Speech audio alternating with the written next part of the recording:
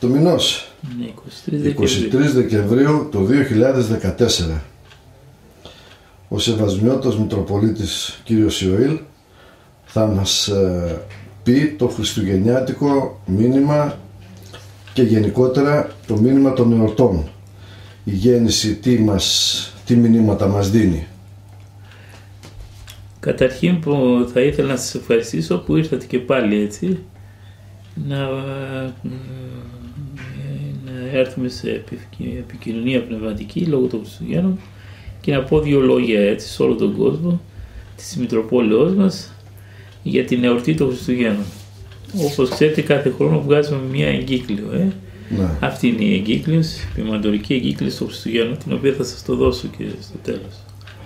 Μέσα σε αυτό το μήνυμα των Χριστουγέννων, την εγκύκλιο, το ποιμαντορικό μήνυμα, αναπτύσσω μία έννοια που την έχουμε πάρει από την Παλαιά Διαθήκη, από τον προφήτη Ισαΐα που λέει ότι θα γεννηθεί παιδί το οποίο θα ονομαστεί Εμμανουήλ και σημαίνει το, το όνομα Εμμανουήλ με θυμόν ο Θεός, μαζί μας ο Θεός. Ε. Πώς τώρα ερμηνεύεται από τους πατέρες αυτό το μαζί μας ο Θεός.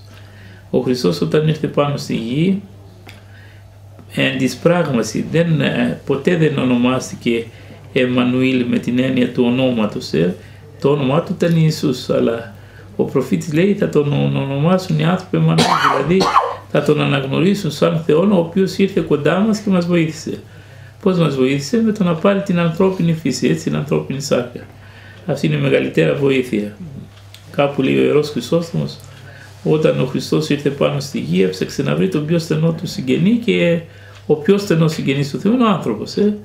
Ο Θεός είναι το πρωτότυπο, εμείς είμαστε η εικόνα του. Ό,τι έχει σε απόλυτο βαθμό ο Θεός, το έχει εσμικρίσει και ο άνθρωπος. Μάλιστα ένας εκ των ε, πατέρων θεολόγων λέει ε, ο άνθρωπος είναι ένας μικρό μέγας, ένας μικρό μέγας. Ε, υπερέχει όλο το κτισμά του και αυτόν των αγγέλων ακόμη. Λοιπόν, όταν ήρθε πάνω στη γη ο Χριστός, μας έδωσε έτσι δείγματα ότι ισχυρά δείγματα και πολλά δείγματα ότι είναι πάνω και κοντά μας. Πρώτα πρώτα όπως είπα προηγουμένως πήρε την ανθρώπινη φύση. Μετά ε, δίδαξε στους ανθρώπους χίλια δυο πράγματα τα οποία έχουν σχέση με την αναγέννησή τους στη Βασιλεία των Ουρανών. Έκανε θαύματα, έκανε καλά παραλυτικούς, έδωσε, ε, τα, έδωσε το φως σε τυφλούς, ε, έβγαλε δαιμόνια των ανθρώπων, ε, σταυρώθηκε, αναστήθηκε, αναλήφθηκε, ε, έδειξε με, αυτό το, με, με όλους αυτούς, με όλα αυτά τα σχήματα και τους τρόπους και τα θαύματα και τη διδασκαλία έδειξε ότι είναι κοντά μας με θυμόν ο Θεός. Ε. Αυτό είναι και το μήνυμα το οποίο απευθύνουμε σε όλες τις εκκλησίες και σε, που θα, διαβαστούν, θα διαβαστεί αυτό την, την κυρία ημέρα του Χριστουγέννου και την άλλη μέρα. Ε, θέλουμε να δώσουμε στη, στο λαό μας, στον κόσμο, σε όλους τους Ορθόδοξους Χριστιανούς της Μητροπόλεως μας ότι δεν είμαστε εγκαταλελειμμένοι σαν ένα φίλο μέσα στο πέλαγος αλλά ότι μαζί μας είναι ο Θεός, ότι έχουμε συμπαραστάτη και συνοδοιπόρο μας τον, τον ίδιο τον Ιησού Χριστόν. Να πω και κάτι που ίσως φανεί λίγο παράξενο. Πολλές φορές οι πολιτικοί θέλοντας να δείξουν ότι έχουν ομοήθεια με κάποιον άνθρωπο χρησιμοποιούν ορισμένες λέξεις. Όπως παραδείγματος χάρη τη λέξη σύντροφος, έτσι δεν είναι, ε; Ναι, ναι. Λένε σύντροφος, συντρόφισσα κλπ. Η λέξη αυτή όμως δεν είναι καινούρια. Ήδη από τον 4ο-5ο αιώνα ο Άγιος Κύριλλος ο Αλεξανδρίας λέει ότι ο Χριστός είναι ο σύντροφος της ζωής ημών. Αυτός δηλαδή ο οποίος μας συμπαραστέκεται, ε; σύντροφος, αυτός που τρώει μαζί μας, ε; που έχουμε στενή επικοινωνία. Άρα ο Χριστός είναι ο κατεξοχήν σύντροφος της ζωής ημών, ε; αυτός ο οποίος δεν μας εγκατέλειψε ποτέ και πάντοτε είναι πάνω από τις ανάγκες μας και ενδιαφέρεται για τη σωτηρία μας και έχει ας πούμε ε, πάντοτε θα λέγαμε την φροντίδα μας, την πνευματική μας φροντίδα αλλά και την ηλική. Έτσι λοιπόν κύριε Σεραφείμ, ε, το μήνυμα των Χριστουγέννων εστιάζεται σε αυτή τη λέξη Εμμανουήλ, ότι ο Θεός είναι πάντοτε μαζί μας.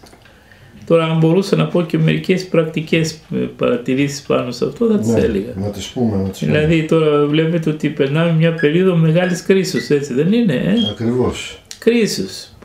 Όλα κρίνονται. Τα τελευταία χρόνια. Ναι, τα τελευταία χρόνια. Οι άνθρωποι έχουν έτσι οικονομικά προβλήματα, έχουν κοινωνικά, οικογενειακά, υπαρξιακά, οντολογικά ακόμη και προβλήματα τα οποία έχουν σχέση με την καθημερινή μας ζωή, την κοινωνική μας ζωή και την υπόστασή μας ως έθνος.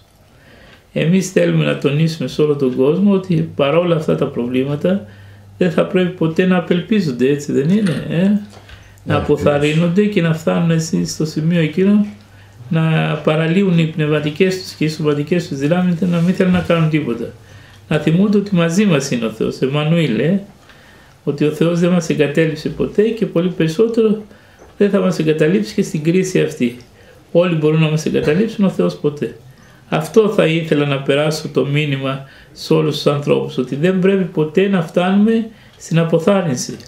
Μάλιστα οι πατέρες της Εκκλησίας λέγουν ότι ο διάβολος έχει πολλά όπλα να πολεμήσει τον άνθρωπο. Ένα από τα κύρια όπλα του είναι η απογοήτευση και η αποθάρρυνση. Άμα σε ρίξεις σε αυτά τα πράγματα, μετά μπορεί να σε οδηγήσει όπου θέλει. Λοιπόν, στις δύσκολες αυτές τις ώρες που περνάμε, και όντως είναι δύσκολες γιατί πολλοί έχουν δυσκολίες ακόμη και για την επιβίωσή τους, την καθημερινή τους επιβίωση, όχι για πολυτέλειες και για πράγματα τα οποία δεν είναι αναγκαία, αλλά για τα αναγκαιότατα ε, και τα, εκείνα τα οποία συνιστούν την καθημερινή μας διαβίωση. Δεν θα πρέπει να απογοητεύονται, αλλά να ελπίζουν ότι θα έρθουν καλύτερες ημέρες και ότι ο Θεός δεν θα μας εγκαταλείψει ποτέ. Από πλευράς εκκλησιαστικής, εμείς ό,τι μπορούμε θα κάνουμε για να βοηθήσουμε ανθρώπους που έχουν ανάγκη. Ό,τι μπορούμε να εφαρμόσουμε αυτό το όνομα του κυρίου Εμμανουήλ και στην πράξη. Έχοντας έτσι, αφού είμαστε υπεύθυνοι πνευματικά για την ε, καθοδήγηση του λαού μας. Πιστεύω ότι ο Θεός δεν θα μας εγκαταλείψει και σε αυτήν αυτή την περίπτωση όπως δεν μας εγκατέλειψε και τόσες άλλες φορές κατά το παρελθόν. Αλλά θα μας έχει έτσι πάνω στο νου του και θα φροντίζει για τη σωτηρία μας όπως επίσης και για τα άλλα πράγματα που έχουμε ανάγκη στη ζωή μας. Αυτά ήθελα να πω κύριε Τάσο σε όλο τον κόσμο ε, που θα γιορτάσει αυτές τις μέρες τα Χριστούγεννα. Το μήνυμα δε αυτό που θα σας δώσω και σας δίδω τώρα ε, θα το, το διαβάσουμε και σε όλες τις εκκλησίες την ημέρα των Χριστουγέννων και την άλλη μέρα. Μάλιστα.